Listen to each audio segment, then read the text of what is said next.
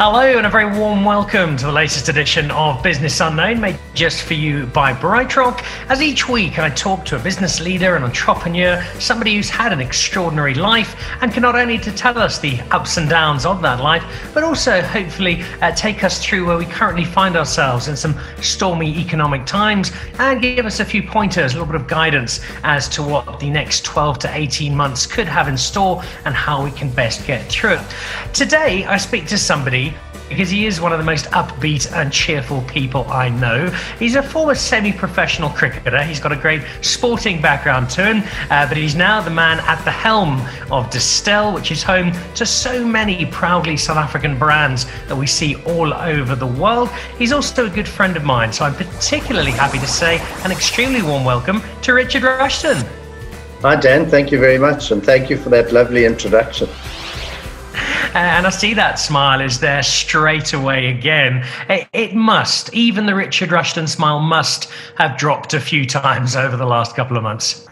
Yeah, Dan, I think that's probably right. You know, um, obviously, in the role that I, I'm in, uh, keeping a positive uh, frame of mind, both personally and for those around you, is critically important. Um, but yeah, there have been moments where I myself have kind of dragged myself out of my bed into my home office and wondered how we might make it through the day. But uh, yeah, I think lots of lessons learned out of this uh, last uh, three months in South Africa. Um, and I think probably we've learned as a society and also as an industry that uh, much more proactive engagement and discussion amongst all the role players is critical so that we can actually understand one another's concerns, issues, particularly when you face un- paralleled kind of health challenges like this COVID pandemic, you actually need to to talk to one another. Well, I'd like to look at the Richard Rushton story because it is a fascinating one. You're in South Africa, you're a very proud South African. This is home now, but for a long time it wasn't. Uh, talk us through some of your adventures around the world, the places you found yourself, and what it's been like both doing business and living in some of these places. Just to say at the outset, I've been one of those extremely fortunate South Africans that was able to pursue a career both here in South Africa but also abroad. And um, I started out my career at, at uh, firstly at the old, uh, the First National Bank of today, but was Barclays Bank at the time. I was an executive trainee post uh, my uh, grad uh, degree at Wits University, and then got an opportunity to join Adcock Ingram which had a really fledgling but growing consumer division. And that position ultimately culminated in me running a small exports part of the business and started traveling. Um, so my first travels were to Zimbabwe and to Kenya in Africa. And then um, that business went through some change. And out of the blue, I got a call from SAB who were looking for uh, younger uh, uh, managers to join their business because they were on the international expansion trail. And uh, I spent uh, just over two years in the head office functions in based in Gauteng. And then I got uh, my first uh, opportunity to work abroad in Botswana. I was the, the MD of Botswana business for two years. And then from there, a five year stint in India.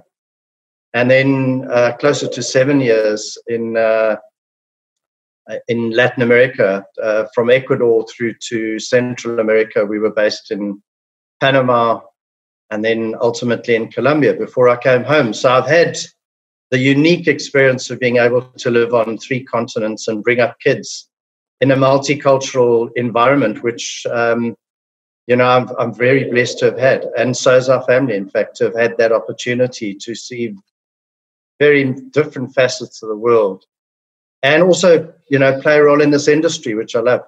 It's given you a rich rich life experience in your family as well.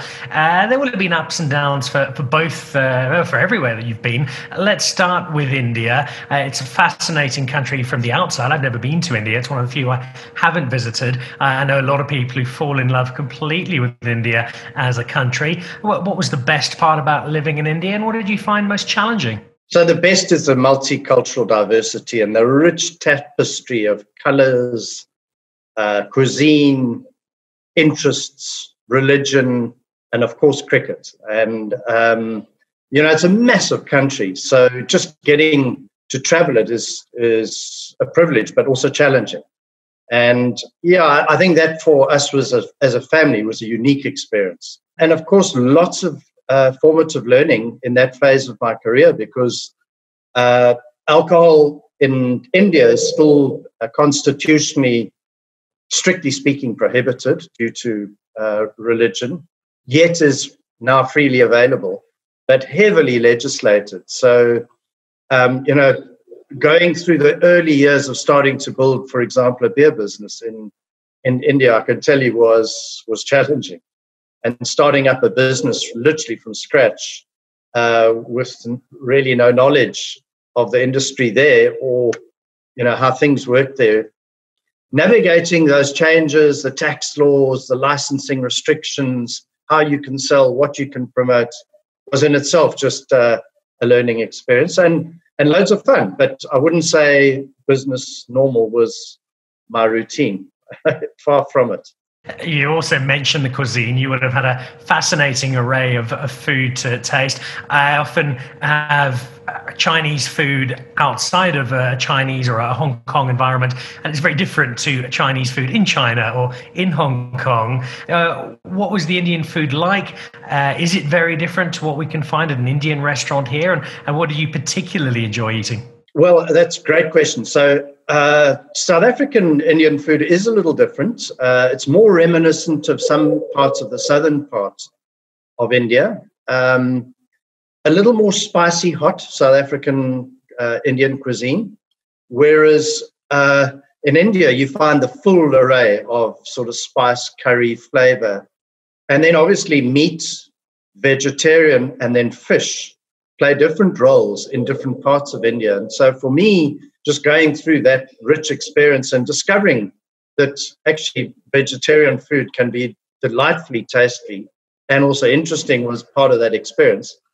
Just discovering that rich array of and variety, and then the flavors and the sensations on your palate uh, was in itself um, an experience. I must tell you about alcohol in those in that in those early phases is India was effectively a whiskey drinking nation. So beer and wine was, you know, very underrepresented. There was very little to speak of in terms of a wine, a table wine drinking tradition. So, and there was very little beer, uh, in fact, to to celebrate, and that's surprising given the climatic conditions, the heat, the monsoon weather, etc. So that's the sort of it's a it's a land of of great opportunity. It's a country of fantastic opportunity, certainly for beverages. And the country, as you say, fabulous food, and all that talk of food has got me particularly hungry, which I think is a good point uh, to start tucking into some of the food that we're virtually sharing from across the country. You're uh, at home in Somerset West, I'm at home here in Johannesburg, and we've got a whole array of food. What I'm going to have a crack at first, particularly as you mentioned sausages, uh, we've got some lovely charcuterie uh, and, uh, and some maize chips, uh, which look a lot better than when I saw them on the menu.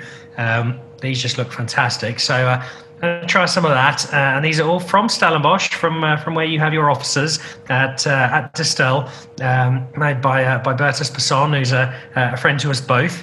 Uh, so I'm going to have my first mouthful. cheers, Richard, and lovely to see you. Nice to see you, Dan. Cheers, and thank you for the invite. Mm. These maize chips are sensational. Yeah. Soft and polenta-ish inside slightly firmer crust. Mm. And also not heavy, light yet uh, mm. full of flavor. Mm. And then I, I, suppose for you, that's one of the the real benefits of living where you do in the winelands, uh, as evidenced by the food we're eating now. You're surrounded not just by uh, the wine that is such a big part of your business and gives the area its name, but also some of the finest chefs, finest restaurants in South Africa. Yeah, absolutely. I think, um, you know, and I think at this time, on a serious note, all of us need to do absolutely everything we can to support our, our restaurant industry and our cuisine industry and our tourism industry. The journeys ended and you came back to South Africa. Just before we get back to South Africa and, and, uh, and talk about your story as you are now, from a business perspective, countries have very different business cultures, and you often don't get to understand that until you've been there a while and realize that maybe you've been doing something in a, an improper way because it comes naturally, because it works somewhere else and doesn't there. Uh, what were the key lessons that you learned from doing business across South America, and, and, and what's unique to that business space? Yeah, so I think um, for me, Latin America was uh, dealing with growth. Um, so it, the, the, the economies were actually in strong growth at the time, and um, as a result, we had to fund and finance and support growth strongly. And you know, typically South Africans are quite cautious um, in their approach, just given perhaps what we've had to work through over decades as a country. And I think um, we tend to be quite defensive, and this is a strong offensive growth game um, in Latin America. So learning to to kind of back yourself uh, and the business and big strategic investments was a kind of newfound skill. And then I guess the the satisfaction of that was just seeing quite a few of them, you know, play out really successfully. Um, so for me, that was that was a unique experience. I think, you know, India was about coming to live with controlling what you can control, and you know, letting go of things that you are out of your control, and that was linked to the regulatory environment to a large extent. And in many ways, it kind of leads. In a funny way, you always end up in situations for good reason, and it's you know, as I reflect on the last four months and five months in South Africa, many of those skills that you almost acquire through exposure and experience innately in your travels, many of those skills have suddenly had to, you know, come to the fore again, uh, given what we've had to deal with in in this uh, pandemic. All right. Well, let's uh, let's say goodbye to South America. Let's welcome you back to South Africa. And let's do something a, a little cool. We've got a garlic loaf, uh, which has been sent up with a candle made out of butter. Uh, mine is slightly melted already, but I'm going to. Mine's also melted. oh. So this is this is a chef having a lot of fun, and that just I see that. Down and, oh, uh, we still get chefs, I think, who, who overcomplicate stuff, and that style of food, uh, I'm not sure is uh, is really where the world is heading. Um, but when they come up with something like this, it's both uh, uh, it, it, works and it's a lot of fun as well. Uh, then I can see a chef who's clearly, clearly enjoying themselves, as uh, as you have been for most of the time that you've been back in South Africa. Uh, the last five months have uh, put everything and everybody into a, a new perspective. Uh, this stretch now, from a very simple business level, you couldn't sell alcohol. The business takes a massive hit. Uh, yeah, everybody will know that uh, automatically. Let's go just a little deeper, though, what wouldn't we know about a business like Distell in terms of the challenges that you've had over the last five months, aside from just not being able to sell the product that you normally would? So, I think the biggest challenge that people wouldn't perhaps know at face value is just the extent to which you and we prepared to look after the well-being of our of our employees because I think there was a a, a real realization that they, our employees, and you know, the way I always try and think about it is is the person most dependent on their job at our company. So we spent a disproportionate amount of time on just employee well-being, both mental and otherwise. And uh, you know what you wouldn't know is in this lockdown period, we spent about thirty-six thousand hours on e-learning for all of our employees. We took things that people may have learnt either on the job or learnt through certification programs and typical, you know, classroom training. And we stuck that all online. And and I mean it was a massive team effort. And our team did a wonderful job of putting much of our work, you know, into e-learning platforms. And that that's the good that's come out of it. I think what the, the sort of the tough parts out of it has been you know like everybody dealing with a pandemic. So pretty early on we had to put in place rigorous um, safety and and hygiene and other protocols in our sites. So typically you don't you know you don't worry about physical distancing in a manufacturing site where you're running production facilities cellar operations packaging lines. Now you got to think well gee we had 15 people on the line some of them working in close proximity together. How are we going to run that? And so you know we had to run those quite differently and then we had to think uh, carefully about infection. And of course we've had. And on day one of restarting, we had our first case. So first you've got to protect their confidentiality because you didn't want fear and reprisals because this is, you know, no one's fault. And then second, you've got to take all those people out, you know, out of the business. So we had to isolate everybody that walked through, send them home for 14 days. So, you know, those are things that you probably uh, that no one would have seen. Um, and that many businesses, so we're not alone, um, would have had to deal with. And I think now, I think it's the realization that working the working world and and working life won't return to what we knew it before, and that we now all have to adjust. And that requires that that means us spending more time on on sort of mental uh, strength and helping people through the stress of either having to work from home, you know, or partial work from home or more job rotation where you're doing more than one job.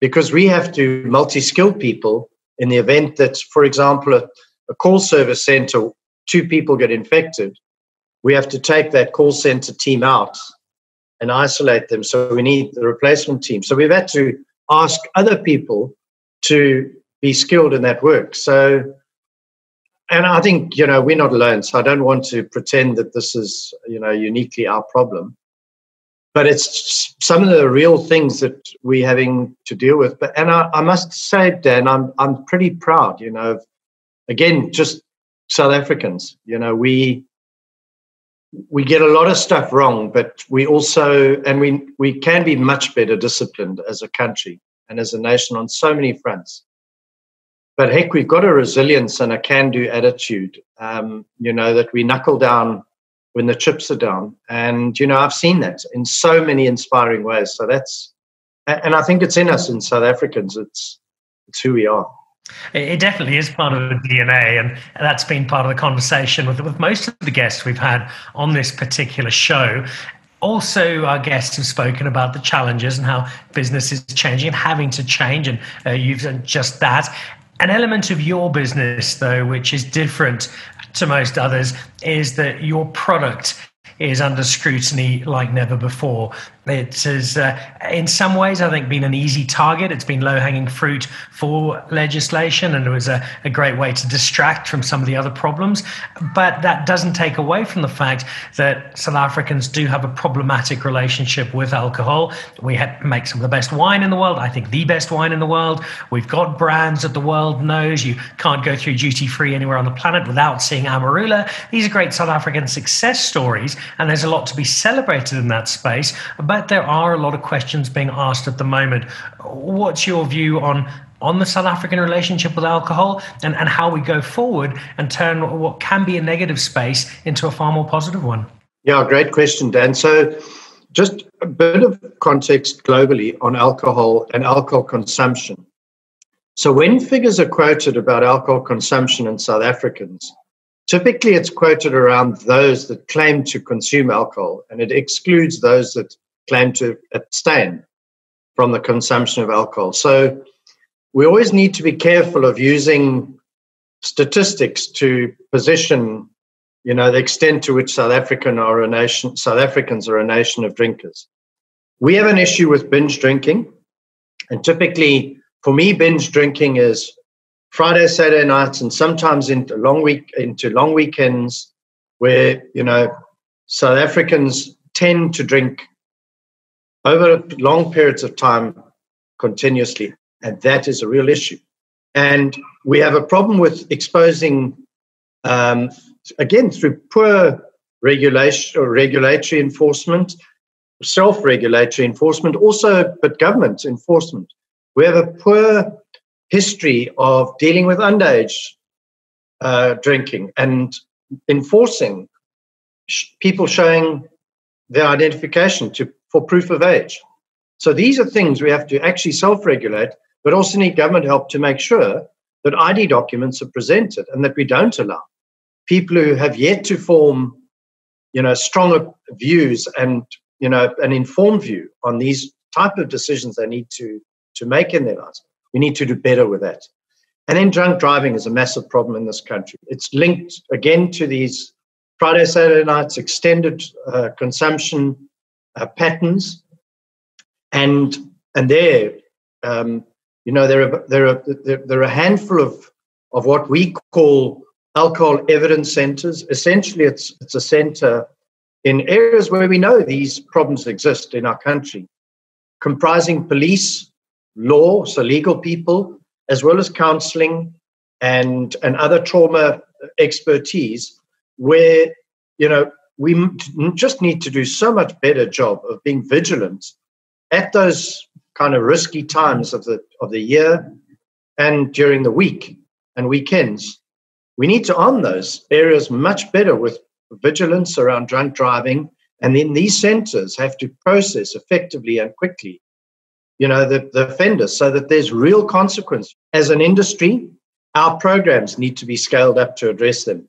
We've done work there, but I think we all recognize, just given what you described, the fact that a global health pandemic has put this industry into the crosshairs of, you know, scrutiny.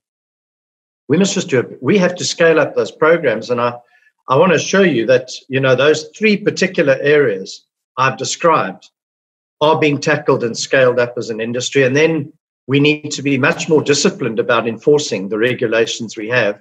And there has to be consequence.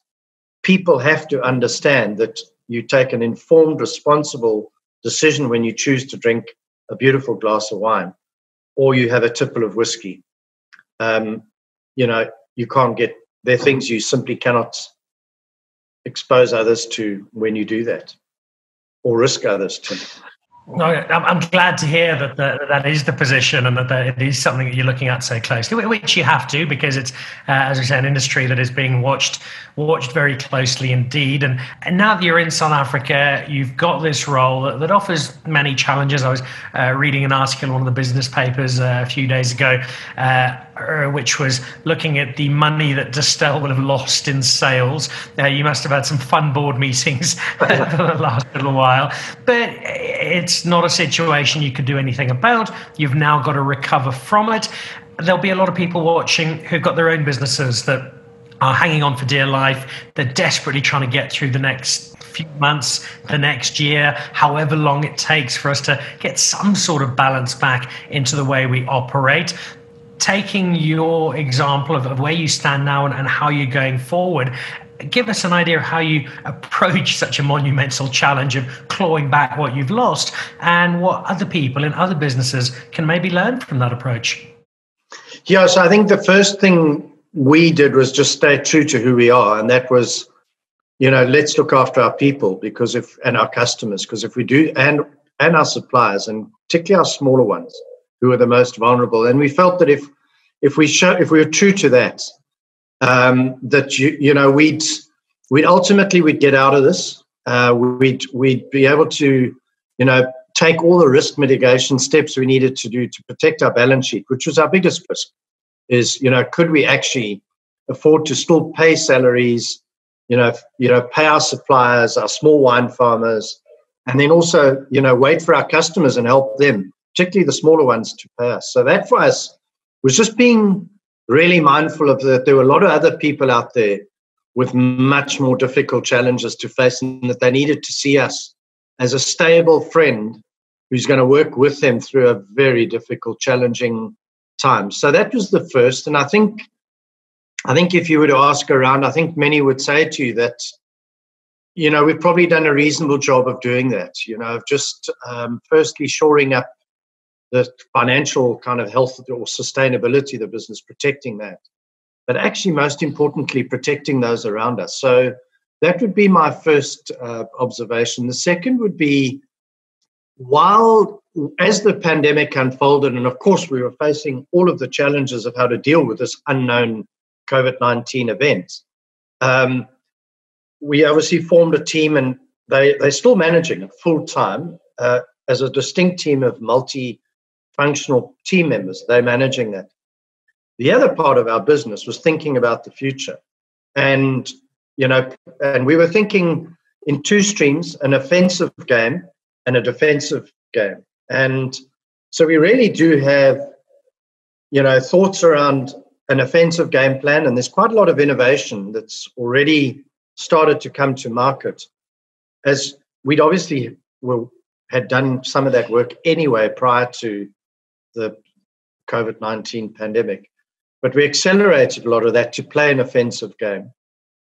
And then we've done a heck of a lot of work around, you know, a defensive part of our game because we don't know quite how demand, the consumer environment will actually play out. So there isn't a defensive part of our game. And then that linked to just coping skills, resilience, optimism, knowing that tomorrow is not going to be the same as it was yesterday, and next week is going to teach us something new that last week didn't. And so there's quite a lot of those sort of coping, sort of resilience skills of saying, hey, it's going to be choppy, difficult, volatile. You know, let's let's accept that, embrace that, um, look forward, and just constantly jig or adapt our offensive game and our defensive game as the circumstances change. And and that's how we're tackling our challenge. We also clearly we, we got to make some tougher decisions. We had, we've had to to accelerate the process of selling some parts of our business which we wouldn't perhaps have done under normal conditions because we got to actually just be true to what our core strengths are as a business and uh, those involve some tough decisions and again, you know, those tough decisions where you, you can't you can't skirt. We and I would just advise that to you know to others as well. Some some decisions and choices now have to be made, and that's probably a good thing, given given what we've learned about this pandemic.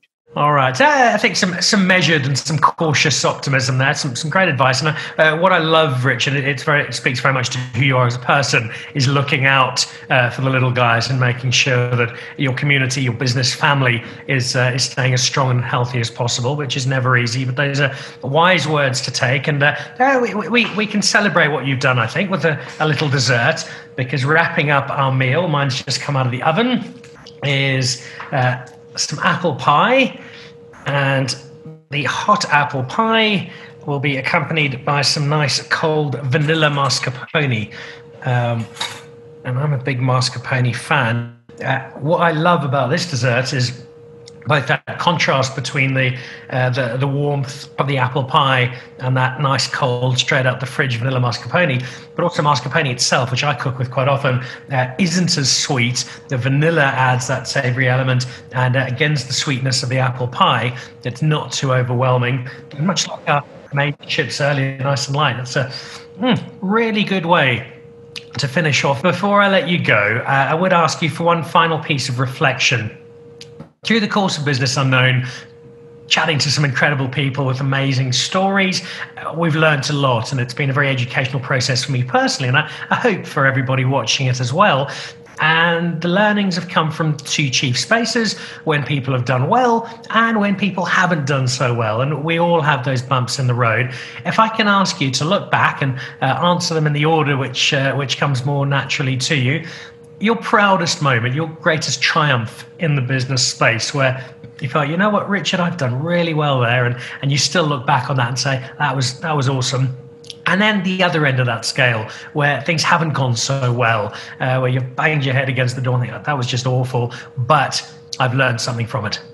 Yeah, so I'll start with the one that ha- hasn't gone so well. I think um, I think India in the early phases was pretty tough. Um, we acquired a business in, in that country. Um, we missed a, a, critical small element, but had a material impact on our lives, which is bottles going to the market and having to be returned through third parties. And we missed understanding that element quite well, and it cost us quite a lot of money in our first year of operation. And the lesson there was um, you know, pay attention to the right details, not always all the details. And so, being quite a detail oriented guy, you know, I tended to spend a lot of time on all of them rather than the right ones. And so that that was a big lesson.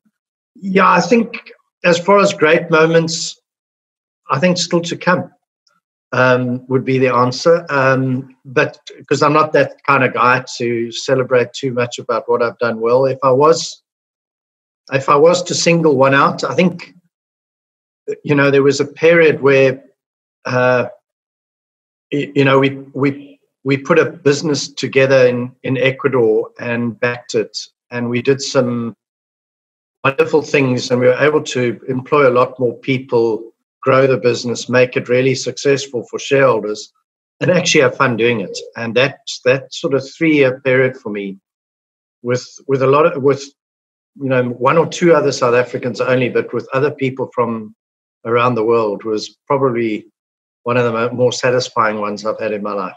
And this one right now is is a wonderful moment, Dan, uh, to make a difference. And you know, I'm proud of of what our what we're doing. To be quite honest, we're gonna we're gonna merge out of this both as South Africa, but uh, as a company, but and also as, as individuals, we will emerge out of this hopefully stronger, better.